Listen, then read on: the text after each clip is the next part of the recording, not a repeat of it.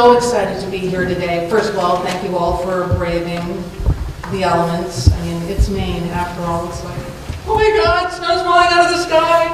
Um, we, we all made it, so that's fantastic.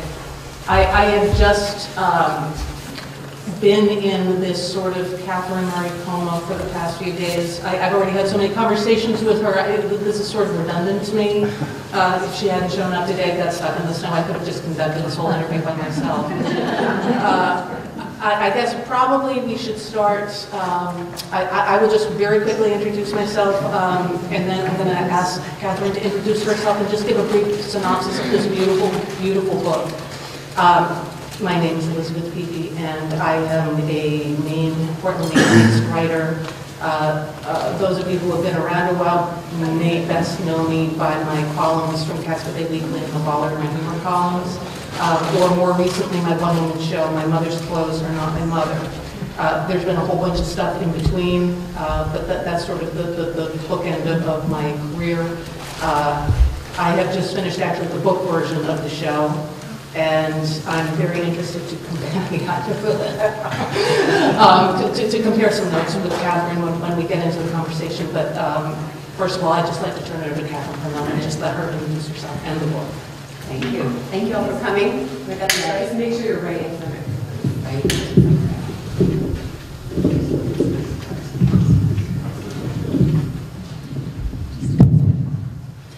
My name is Catharine Murray.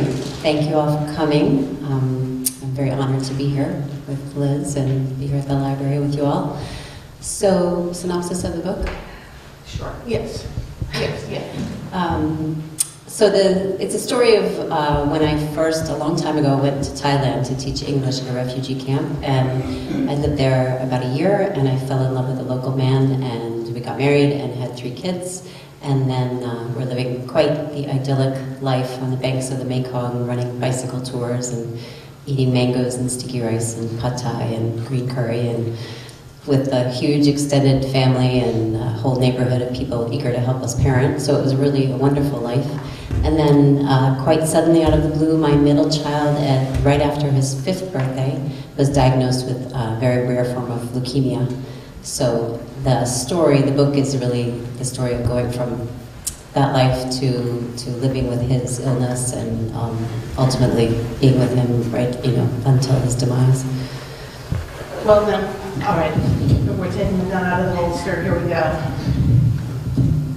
So that. Did that work? This is- Okay.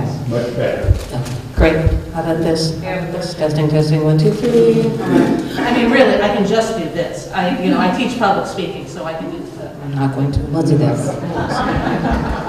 Uh, I guess uh, maybe, maybe a great place to start is uh, talking about how somebody takes such, I I mean, I can't even begin to fathom the, the the depth of this tragedy, and how, how one takes something like this and frames it into a story that, that you can put on the page. I mean, it- I I guess the, the the starting point is where did you begin? Well, I think, um, you know, that's something I had to ask myself in recent years when I was trying to make it into a story. But really, I started at the very beginning. For me, I think what helped me survive going through such a difficult experience, um, and I want to say that I, I don't think tragedy is really uh, applies for me. Uh, to me, the word tragedy has more to do with like genocide and incest and, you know, just really sort of horrific, unnatural things. And the death of a child is incredibly painful, but it's not completely outside the realm of human normalcy. So it is a really, you know, a very difficult thing. Um, but in order to to live through that, I feel like I sort of made it into story every day for myself, um, in the sense that I I needed to write every day. I needed to journal. That was really how I handled the emotions um, or survived the emotions. So I kind of had a head start in that way, and then I kept a, a really detailed journal. So much of the book is just the journal.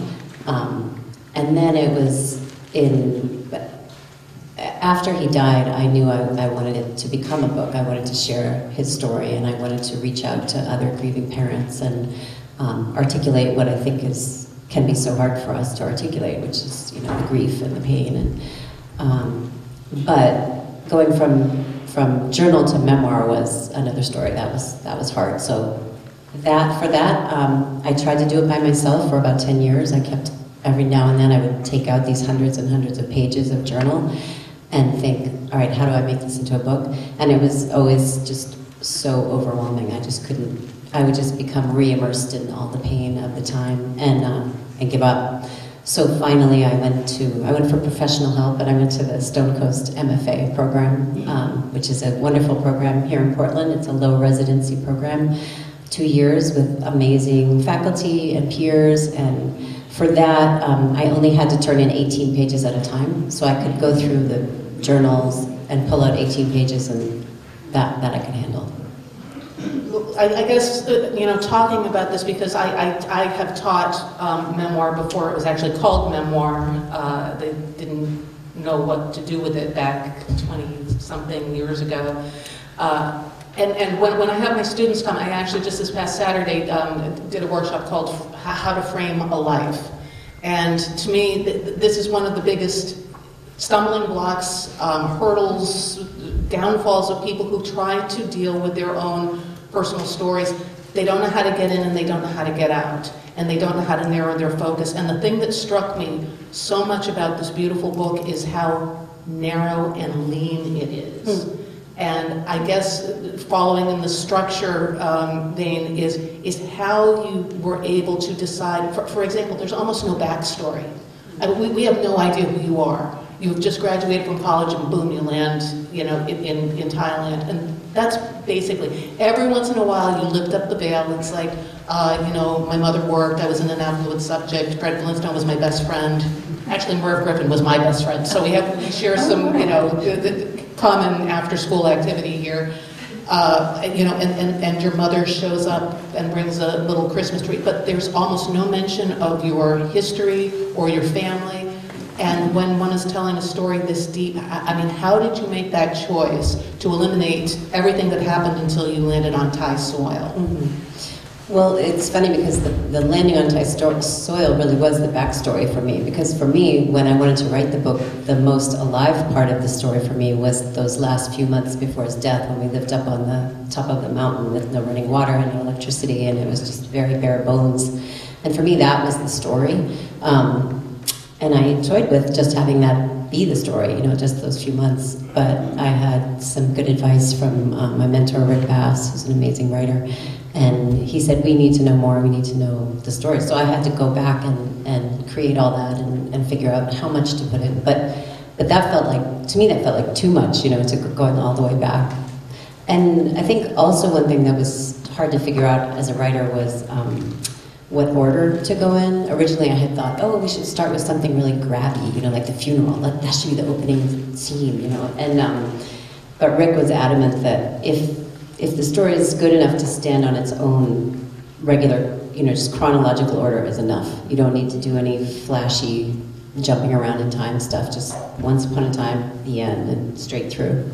Well, that was another thing that struck me because, again, when I have students come to me and guilty is charged, th- they try to overcomplicate the story, you know, and, and, and very often the first thing I'll do to a manuscript when I'm working with someone is disrupt that linear chronology. You know, it's like, you know, the autobiography is linear, uh, you know, life is linear, but uh, memoir is more novelistic and more digressive. And, you know, yes, started in a flashy moment or started in a moment of crisis and then pull the camera back.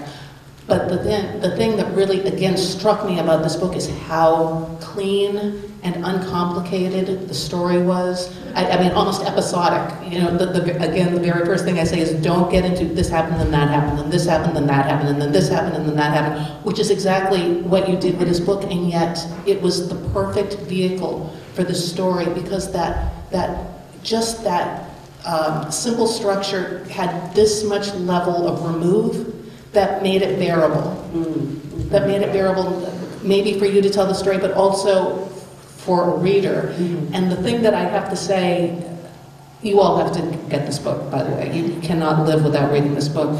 Is I, I reserved Sunday afternoon. I knew, and it's John Chong was dying. I knew, he- I mean, no spoiler alert here. And I said, you know, it's Sunday afternoon, I'm turning my phone off, and I am going to cry all afternoon. I was so excited to have this good cry, and I didn't cry. I didn't cry because I believe that you delivered me like you delivered your son to that moment where it was inevitable and, as you say, natural. I felt, I felt transported to that moment safely, which was, again, the art of the way that you constructed this memoir. So, Rick, good mentoring. But it, but it's also it's it's also very artfully created. I mean, you know, we we start with that sort of you know death by water, death by water, and end by death by water, and it's so so beautifully so beautifully constructed. And the thing, I, I guess maybe what I would love you to talk about a little bit more is the title and how that because I, I felt there was so much of this and so much of this in the book, and those two contrasts, again, talking about structure. Now you see the sky.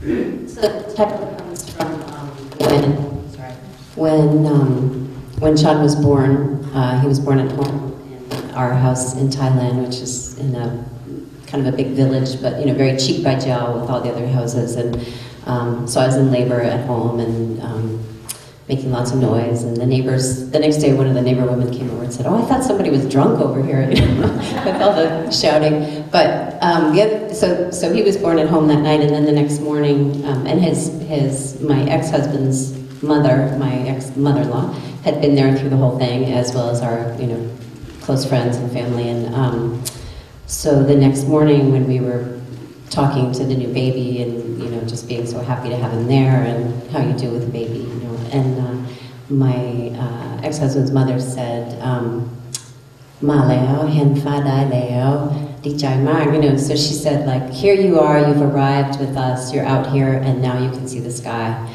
And I just that just struck me in that moment. As such a beautiful thing to say to a newborn human being so Right, and and yet in, in the contrast, there is so much. I mean, to me, that that's the open expanse of coming into the world, and yet there's but is that better okay uh, th- there's so much womb imagery. Like like I feel like like everything that happens in the interiors of, especially your hut up in the mountains. And, and in that bed, the, the, the family all sleeps together, uh, e- even when Chan is sick and dying, and, and it is it, it is it is cocooning and wombing, and yet when you go out into the, I mean, again, I don't. This is no spoiler alert, but but after Chan dies, the first not the first thing, but when when you finally rouse yourself, and I just thought that this was such a beautiful natural moment. Is that um, Catharine goes out into the hillside and there's a big gibbous moon kind of hanging over the hillside, and she kneels, well, scooches down and pees. And how the earth drinks up her pee, and she's looking at that moon, and she says, Every time I see a moon like that, from now on, that's going to be my life.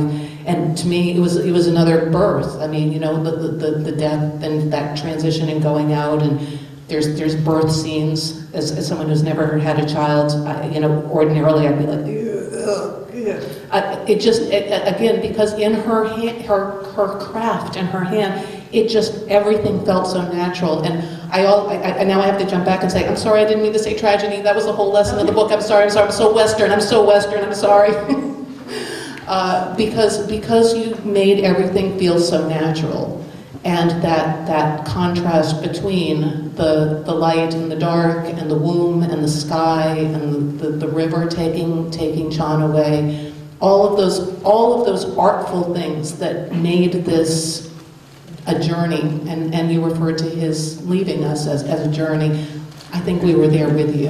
And that doesn't happen by accident, that happens by craft and beautifully done. Thank you. I appreciate that. Um, yes, there's definitely craft. There's definitely purposeful use of things. I also want to say to the writers that uh, trust your subconscious. Um, I almost always wrote very, very early in the morning when I first woke up. Woke up, Um, so a lot of those things, like you said, it opens with death by water and ends with death by water. I didn't realize that until you just said that just now.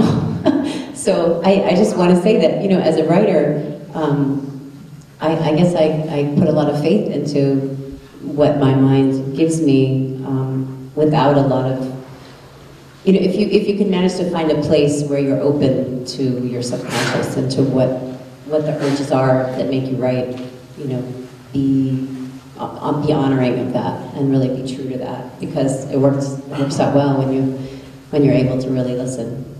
Well, sometimes we don't know what we're saying until somebody else tells us what we just said. So that, that works out nicely. Uh, I, I guess one of the other things that, that I was so struck by was the um, contrast of cultures. And th- that you definitely, you know, in even in initially Chan's treatment, you know, we're half Western and half Thai. I mean, you, you wanted to uh, honor the land that you were living in and your husband's family's customs and what they wanted to do, and yet the minute they said the C word, you rushed back to Seattle. Uh, it's, it, I would just like to offer a contrast because one of the things that I was, I was noting as I was reading the book is every, every step that you made, everything that you did was with the tempo of time and earth and naturalness uh, whereas in the Western world, everything that we do about death is, a, it's, we have to stop it.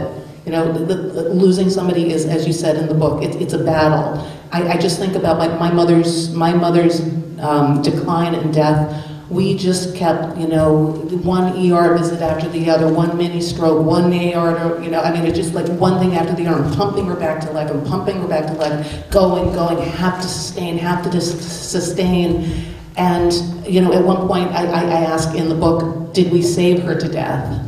Because we could not let her go. And yet, the whole, again, this, this launching that, that you do of your son, that at some point you say, enough let's go home. And what what the family does is, you know, they, they make beautiful food that they grow, and the papayas and the greens and the juices and the rainwater that they drink, and it's everything is so gentle. And and in Western society, we we don't usher people out well. We, you know, stick them to death before they go. And and you really gave this.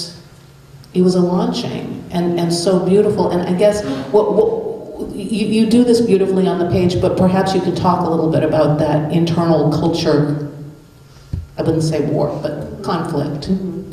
So, um, you know, had, had there been any hope that we could have kept him alive with whatever, whatever, you know, difficult, challenging, uh, non-natural way, we certainly would have.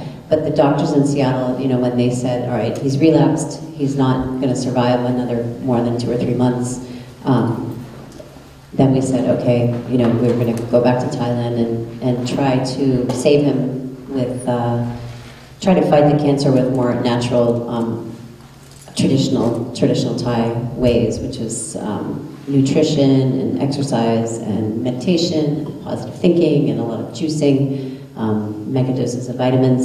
So it was, it was almost a blessing, I think. I mean, if he was going to die, it was good that we were told by the American doctors there's nothing at all we can do. So then we were free to go ahead back and, and take care of him as best we could using much more gentle ways. Um, but yes, it, it, was a struggle. It was very hard for me to um, to not give up, to not, I think there was so much authority in what um, the doctors told us in Seattle after he relapsed when they said he's not going to survive, he's going to die within a couple months. It just really uh, went in, you know, I thought that's it, you know, what, what, what they say is the truth. And it took me some time to recognize that um, nobody can predict the future, no matter, you know, how many medical degrees you have and no matter what you've seen anything is possible, and the human body is always uh, recreating itself, you know, cell by cell. So I had to really teach myself to become not just a positive thinker, but just to really wake up each morning and say, it's a new day, we can fight, we can keep, keep at this battle and not give up. Because there was part of me that wanted to just say, well, the doctor said this is it. I'm just going to be very kind of calm and intellectual and explain to my child that, you know, to prepare for death. And, but uh, there was something in me as a mother that knew that that was not okay, that I really had to fight for him. Even though that struggle between those two places was almost excruciating, um, in the sense of, I mean, I think keeping hope alive was somehow more difficult for me than than just wanting to cave in and be a victim. Um, you know, which sounds really weird because, of course, I didn't want to lose my child, but but the hope was painful because it's like you know I had to be so pain, ho- so hopeful, and yet always in the back of my mind knowing this might not this might not happen. You know, he, he could die, but I have to keep fighting.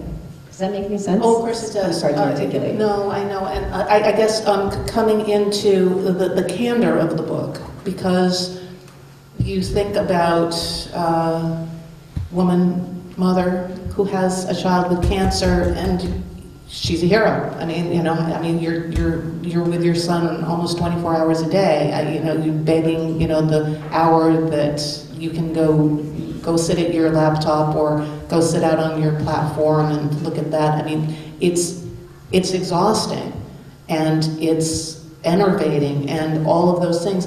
And you dare to say that in, in the book, which again, you, you, I think you even say you don't want to be the, the heroic cancer mom or the, the victim mom, is that this is your job, but it's not any fun. And you make that very, and, and again, you know, that's what's so nice about this book is there's so much candor in it that she's not saying, oh, you know, when I get up in the morning, it's such a pleasure to be able to, you know, bathe my son. You know, it's like, would he stop crying for five minutes so I can not scream? I mean, and, and I guess, again, making those choices about what to share with the reader. You know, we all want to be the likable narrator. We all want people to admire us and think well of us. Uh, you know, the whole basis of my book and show is that I sucked. my mother wasn't the greatest mother in the world. I wasn't the greatest character in the world, but I tried and I did my best. And you were awesome. Uh, and on and, and there's there's nothing you know showing up and it's like look, look at what a fantastic caregiver is because she's complaining a lot of the time about everything that she's doing, but figuring out what you're going to share with the reader so that it doesn't feel like look at me cancer mom, but also it's like this is so hard. Yeah, it was, um, and yeah, I have to think about how to respond. I mean, um, I think that one thing that helps that voice and that um, portrayal of oneself is I, I try to err on the side of more scene than reflection in the book. You know, I try to just be true to this is what happened and being very specific about sensory details and, and trying to have less mind chatter. I mean, uh, it's definitely in there, my reflections. I think you know the fact that it was that it was journal. Those reflections really have. I, I would say probably most of the reflective stuff in the book is moment to moment. You know, stuff that I recorded as I was thinking, like I was thinking out loud. So it's it's like I didn't have space between now and here to kind of um, you know embellish that. Does that make any sense? So it was very authentic. Right, right. And, and I mean, sometimes some, when, when somebody is putting together a piece like this and you have that raw emotion on the page because you were journaling, I'm sure you probably were able to expunge a lot of the emotion when you were actually going back and looking at it and saying, okay, and, and one of the things that I always say to my, my writing students is, you know, get whatever you have to get down on the page. The work starts when you start editing and you look at those lines and you say, is this for me or is this for the reader?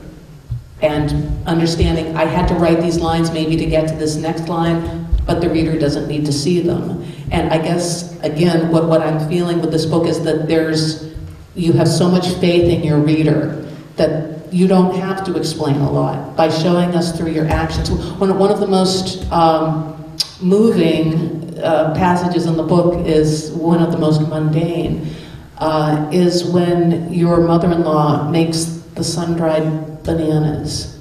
And it's not the act, it's your devotion to depicting the act of what she does. It's, it's a page and a half. You know, you give birth and you, it gets a sentence, but you give a, a page and a half to, you know, sun-drying bananas.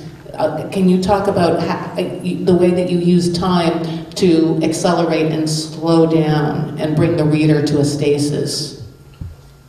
I think, you know, it's, it's about those moments that happened that were so essential. Like that, that moment happened just before his death. I think just a day or two before it was kind of his last, you know, favorite meal. So though, her making those was incredibly important to me. So for some reason, you know, just as a creative act, I just, I had to really watch every moment of her making that. And I think it was such, it's, it was so much the way she expressed love for him. Um, you know, she didn't talk much, she didn't, but this woman who did this was, had so much love for my son. And I think that means so much to me and meant so much to me that, that I needed to, to follow her, to be with her as she was making that last meal for him, which I was too exhausted and overwhelmed with two other small children to even think about. You know, I, in the book I say he'd been asking for days, Mom, I really want sun-dried bananas. I'm like, yeah, yeah, yeah, whatever. Who's got the time? But, you know, our friend listened and, and she did it. Right. There, there- there's another, another passage that I, I just adored was um, when you were in Seattle, I believe, and, and um, you take a moment out on the balcony. uh, It's right when you're deciding that Jen's going to go home, and there's a, a construction site across the way. Could you just describe that a little bit, what that moment was like and what you were seeing? Because ag- again, I just, to to set it up as, uh, you know, we- we're understanding that the framework of cancer and the cancer cells, it's almost to me like like you're looking into these cells across the way that are alive and thrumming with you. So this was a scene when, when we first went back to Thailand after we had been told that, you know, he had relapsed and he wasn't going to make it. Um, we went back to Thailand and then there is a slight chance after a bone marrow transplant of um, something called graft versus host disease, which is after you've had a transplant, if there's sort of a battle inside and if the new marrow can win out over the, the, the original marrow, then there's a chance that the patient will survive. So, so the doctors actually have to let this illness kind of rage, and it's dangerous because it can be fatal. Um, and then they swoop in at the last minute with steroids to stop the struggle. So he was in the midst of this. It was 21 days in the hospital in Bangkok with, um, he couldn't eat anything because he had all this digestive stuff. So he just had, I don't know, whatever feeding tube. And um, he was pretty miserable because he couldn't eat. He would, he would, he would like groan in his sleep, sticky rice, sticky rice. So it was a rough 21 days in the hospital. And um, but we did. We were on the seventh floor in Bangkok, and we had this balcony. So a lot of times I would go out, and at one point I was standing out there at night, and um, in Bangkok, there's it's, it's a huge bustling city, and, and it's hot, you know, so things are exposed. Like there's a construction site across the way, and um, and I'm just sort of describing watching the construction workers moving and and uh, someone's downstairs in their kitchen and I can see the spoon stirring in the wok. And um, what I got to by writing that passage, which so many things, the, the reason I write is because I learn things as I write.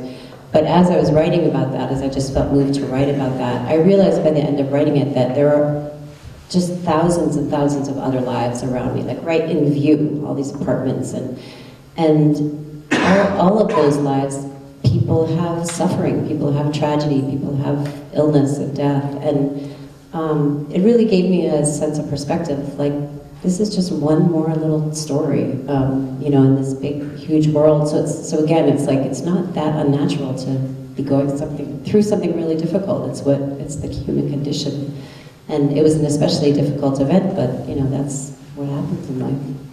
Well, yes, I, and I think that you make a good point there. I um, use, and, and probably anybody that, that um, works in creative nonfiction uses a book called Situation and the Story by Vivian Gornick. And if anybody is interested in memoir writing, you definitely have to pick up this book because it's, it's such an instructive way to enter your story. And as I was thinking in terms of this book, in terms of situation and story, basically the situation is a woman's, a, a family's child has cancer and is going to die. And that's the situation. The story is what you do with that. And the story is the journey that you take the reader on to tell us that story. And that's, that's where it, you know, when, again, when you're, when you're dealing with uh, topics that are like this, they automatically evoke an emotion. I mean, you don't even have to, you don't have to say anything else. The boy, the six-year-old child died of cancer. You already have this evocative, you know, reaction from, from a, a prospective reader. But it's not enough, that, because that is just the situation. And lots of children die of cancer, and a lot of people die of other things, and there are tragedies, and there is suffering everywhere. So it's taking it, it's taking it above the situation, what the event, the launching event is, and where the author takes that reader. And it is really through the life and the death, the, the birth, the life, and the death, which, which you cite at the end of the book, which is so interesting because you are framing it up for everyone because it's inevitable, it's all out there for all of us, that, that this is just the natural bookend. You know, my child was born, he lived, and now he's going to die.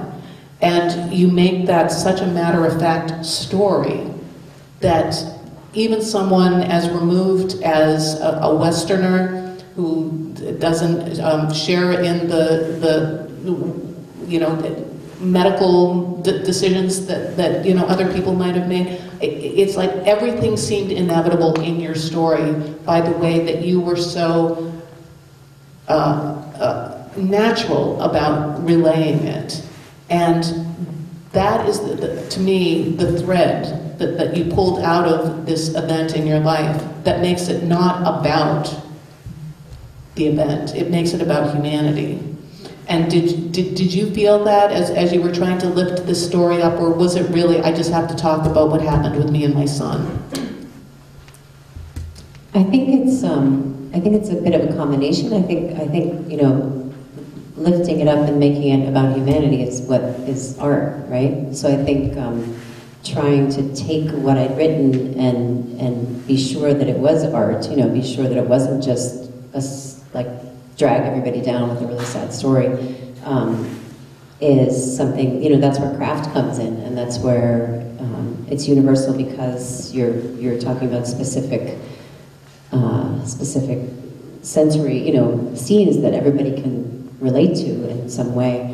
So, so I guess yeah, my answer is sort of like that it's a mix of those two things. Um, that the art makes it uh, accessible to everyone. Does that make any sense? Yes, sure. Uh, I- And then I I guess to to to piggyback on that, because we're talking about um, the the the- the subject matter, and the the subject matter in the promotional materials that I read about the book uh, would have been otherwise off-putting to uh, the publishing world, to editors, uh, and maybe you can tell a little bit about the journey of getting this book published, because that seemed very interesting too. So, so the book originally, I, I went to Stonecoast wanting to have my thesis be the book. You know, I said I want to finish this book, and uh, when it was time to have the thesis read, I had um, my first reader, and then I had to choose a second reader. And I, because I had kind of gotten behind the eight ball, there weren't any second readers left at school, so I had to go um, outside, and I contacted um, an author that I had taken a workshop from years before, Ann Hood, and you all might be familiar with her. She's a prolific writer, and she had a daughter die at age six, I believe, um, suddenly, and she wrote a grief memoir, a very short one called Comfort, which is just a, a wonderful book. Um, anyway, she was my second reader, and when she read she read the thesis, she said, "This has to be a book. This, I want this to be a book." And for years, she had planned to start an imprint specifically aimed at grief and loss, because the publishing industry is notorious for saying no to grief grief stories. They say, "Oh, people don't want to be depressed, and you know, it's too sad." And there are lots of theories about why that is. But she said, this is, you know, enough is enough. I want to see this published. So she went to Akashic Books and said, I want to start an imprint that is all focused on grief and loss. And I want Catharine's book to launch the imprint. So that's how uh, that started. And now, you know, and I think it's it is so important. You know, a lot of us who have experienced loss have been, you know, well-meaning friends give us books about grief and healing, but so often they're sort of like psychology, how-to, step-by-step things. And for most of us that I've talked to, they, they just don't resonate. You know, what you need is you need real stories, real emotions, real um, experiences of people where you can cry. You know, people often ask me, well, can you recommend books? What did you read after Chan died? And I can only say poetry. You know, there just was, except for Ann Hood's book Comfort, that was really helpful. But, but I don't know, there's some, you, you need literature, I think, in, in really hard times, not, not a how-to book, at least most, some people. Anyway. Before I respond to that, I just want to look out into the audience to all aspiring writers. Don't get your hopes up. Don't think that you're going to write a book and an author is going to say, I'm going to start an imprint because I want to see that published. That's pretty miraculous. That is, I mean, that, and it's a testament to, to, to the beauty and the power of this book. But what I wanted to say was, uh, I think that we're scared to talk about grief and mourning, and again, you know, in, in our sanitized Western culture, people want you to get over it. People, you know, we, we want to look at everything with a timeline. It's like, okay, this event happened here, you go through that, you go through that, you go through that, and then it's over, on with life. And as someone who lost her beloved dad of a heart attack, boom, gone, when I was 26, he was 64, I was one of the first um, of my adult friends to lose a parent. I, I sort of felt like I was the, pathfinder, you know, when, when our, our parents and family started going, um, my, my friends looked to me because I, I, I was, I had already started to forge that trail. Uh, and I've always been looking for literature, I, the books that I, the, the, the genre is called mourning memoir. Uh, and there's a lot of it out there, but it's also sometimes imbued with agenda. You know, somebody wants to settle a score or wants to show themselves in the martyred caregiver light. And caregiving, as anybody who has ever taken care of anyone knows, is it is a very mixed emotional bag without one or the other emotion going that I, I remember hearing an interview with an author when I was taking care of my mother, and he was talking about his elderly father, and he said, Some days I hate him, some days I love him, I want him to live forever, I want him to die tomorrow. You know, that somebody could say that out loud all of a sudden, I was like, You can say that? You can say that, and you say that it more or less in turn, I mean, you know, and for, for us, those of us, you know, dealing with someone who's elderly and quote unquote, the time is right to actually be able to say that out loud about a child. And that was, again, something that just like sprang up out of your book. Did- Was that a revelation for you, that you could feel that way? Well, no, because I, you know it's so hard, as you all know. Caregiving is so hard. So I was so exhausted, and, and also so hard to see that the patient in so much pain. You know, to see my son suffering so much. So my mind was always jumping back and forth. But you know, like I need to keep him alive, or you know, no, it's better if he dies. He's so unhappy, or you know, always trying to figure that out. So I don't know. I think um, in writing the book, I just again, you know, it started as a journal. I didn't, I didn't ever write any of it thinking anyone would ever read a word of it. You know, so it was easy to be really honest because um, I didn't plan on it ever being read. But then, you know, later when it was time to publish, I went ahead and shared that because that's that's. I felt like it just showed how hard it was, and I don't think anybody would, you know, think that I love my child less. That that I felt like it might be right for him to die. Um, but it took, you know, it, it's 14, took 12 years between his death until the book was written. Um, so there's no way that I probably could have felt comfortable saying that within the first 10 years. You know, it was, it was 12 years of, of crying and, and grieving, really. I mean, I worked really hard grieving in those 12 years, not just with the writing, which, which was hard and a way of grieving, but also just, just crying with, with loved ones and patient friends. Um, and it was that grieving and that healing, I think, that allowed me to be comfortable saying, I wanted my child to die because it was so hard and because I didn't like to see him suffer. Right, but you actually even confess, I want this to be over for me too. Mhm. Which again, you know, that that's that's it's one thing to say I want somebody to go because I want to end their suffering. It's another thing to confess I want I want this to be over for me too. I can't do this anymore. And I, I, I remember sitting in parking lots of nursing homes and hospitals and, you know, with, my head on the steering wheel, it's like, I can't do this anymore. I can't do this anymore. And, you know, we can, and we do. It doesn't mean that we want to. We don't want that. But saying those words out loud, again, just sprung up off the page to me as such an act of courage and candor because that's the reaching out. It's not, I'm sad because my son's dying. That, that, that takes no courage.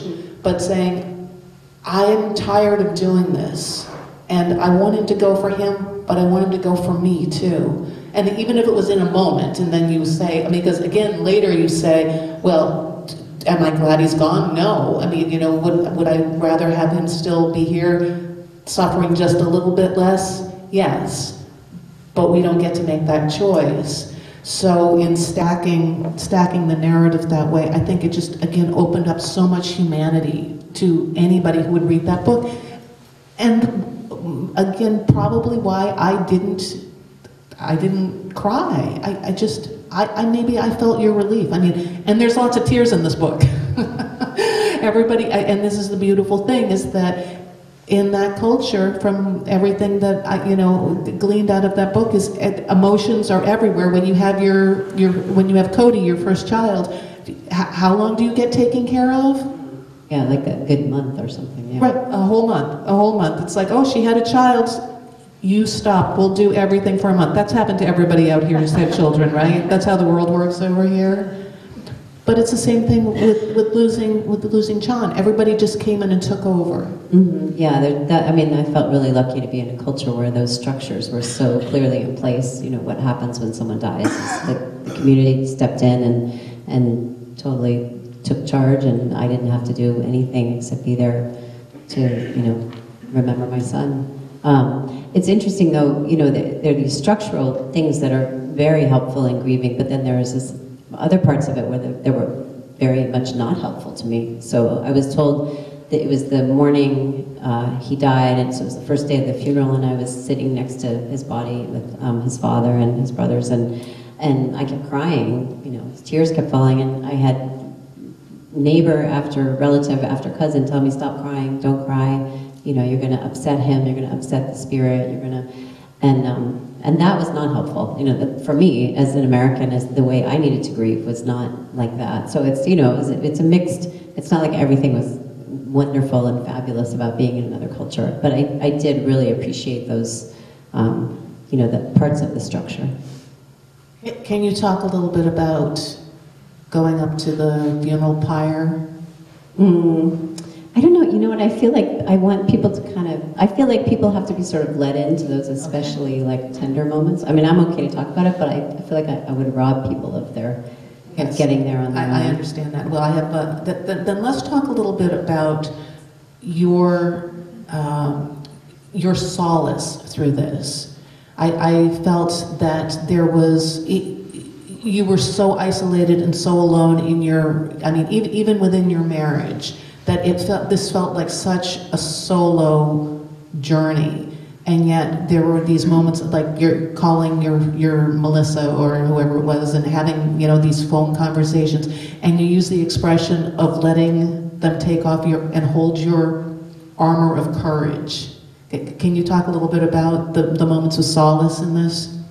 Um, so one thing that I did when things were really hard, because I, you know, we were up on this mountaintop, I didn't really have any close friends, but I did have a cell phone, um, and I could get reception if I hiked up to the top of this mountain near our cabin, and um, so I would call a friend in, in Seattle, and and she would, she, I would cry, and uh, you know, we would take turns. I would talk. She was also a mom, so I would talk, and then she would talk, but. Um, but yeah, I describe it in the book as a moment of being able to take off that armor of courage. You know, that when I was the mother, I couldn't break down. You know, you know that's how it is when you're a caregiver, when you're a parent. You have to be the one who's staying strong. And but in those moments, I could really, I could um, just stop and say the unspeakable. You know, like, uh, you know, I'm afraid he's going to die, or you know, these things that I couldn't say in my family, and and it just was so helpful to have a mother, another mother there who could listen to me and kind of be the one to to say, I, I know you're strong, I know you can handle this, but go ahead right now. It's your time to be a mess. So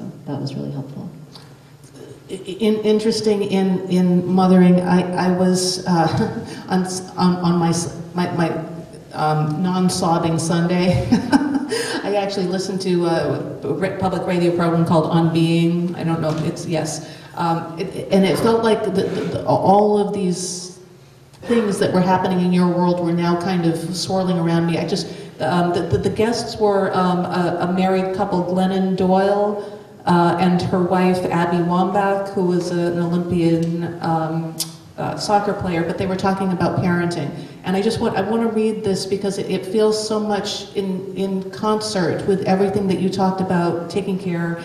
Um, she says, and this was Glennon, "We- we say all the time with our kids, everything's a pattern. It's first the pain, then the waiting, then the rising, over and over and over again.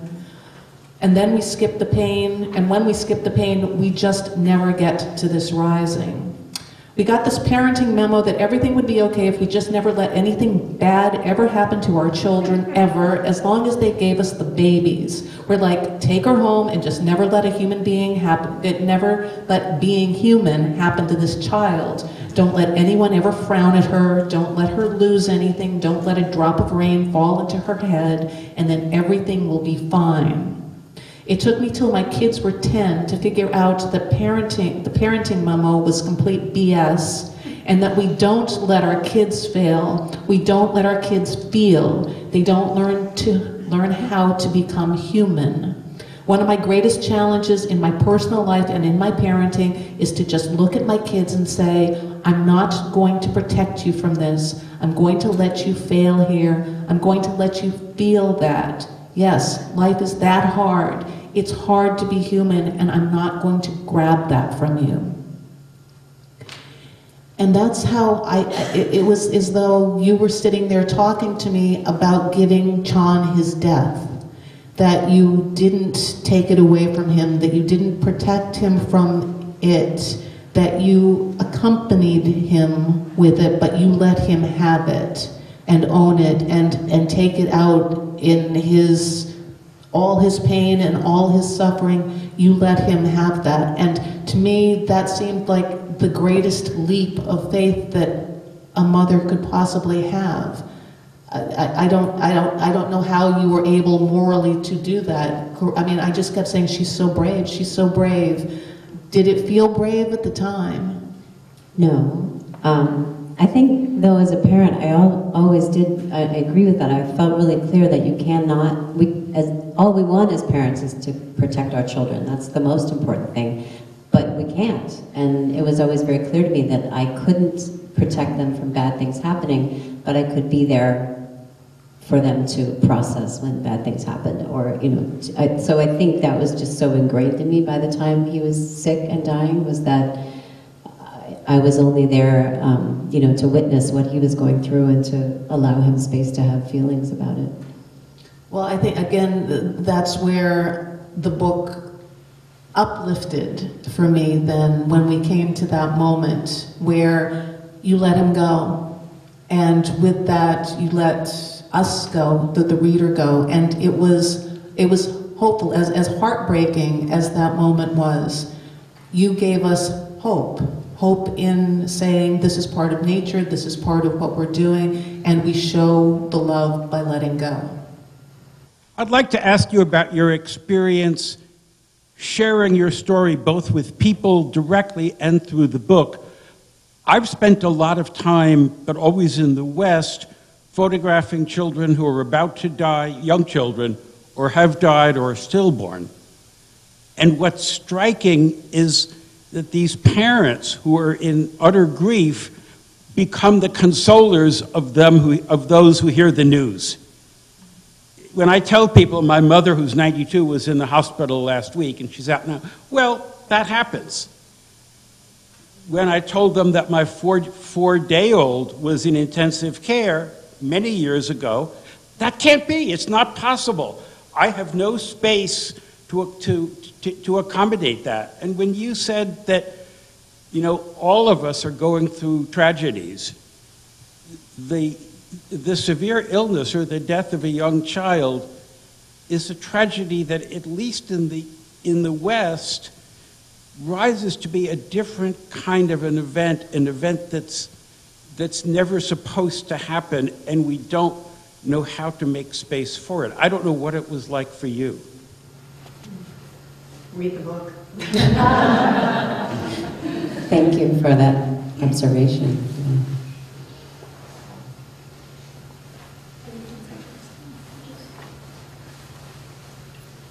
I just wanted to make a comment. Uh, I've only read about a quarter of the book so far, but I'm not a person that feels like I'm very good with words, but I can certainly resonate to people that write. I read voraciously. Uh, and in reading what I've read so far, I do feel like I'm being carried along with that river, you know, along with you. Uh, the images, the smells, the, you know, the, what I'm hearing, what I'm seeing, my imagination. I feel like I'm right in there. And even though I know somewhat where the book is going, uh, I trust that I'll be able to take that journey because of what I've read so far. I feel like it, it's going to be a difficult yet kind of journey. Thank you.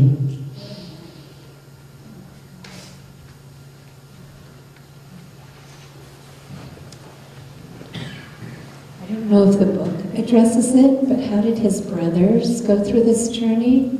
Is, is it throughout the book? That's a good question. Um, no, the book really ends 100 days after his death.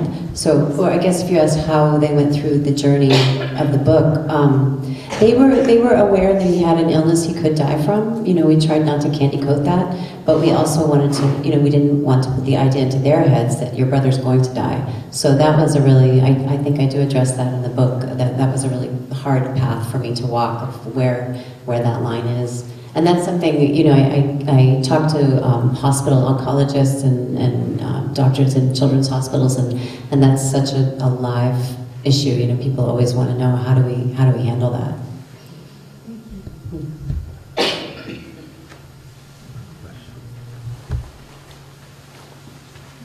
I just want to ask if uh, Buddhism has played a role in your life or in the story. Yeah, that was that was a big gift when I first moved to Thailand. Right after college, I started reading about um, ninety some percent of people in Thailand are Buddhist. It's part of the the schooling and the government. And so I started to study Buddhism, and I, and as soon as I started learning about this idea of mindfulness and trying to stay present and not getting lost in future thoughts and past, I thought it sounded really intelligent. Um, so I started meditating. Um, I started a, practice of meditation at that point. So by the time Chan was ill, I had really internalized to a very helpful degree the idea that we can't control the future, that we have to, the best way to live is to buy, is to be as present in the moment as possible. Not that I'm any good at, at, at it, um, but at least I knew I was supposed to do that. And, uh, and I think that was a huge, a huge help because because I so often when I was in the throes of fear and terror and worry, I would just remind myself, okay, I, there's nothing I can, there's no point in being lost here. Just just focus on the spoon in my hand and the soup in the bowl and my child over here needing me and just stay there. So yeah, that was a huge, a huge part of my journey. Thank you.